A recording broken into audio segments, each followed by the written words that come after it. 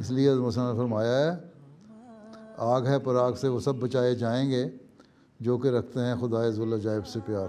अल्लाह ताला से प्यार करते रहो तो बचने का इम्कान ज़्यादा है। तुझे न चाहे।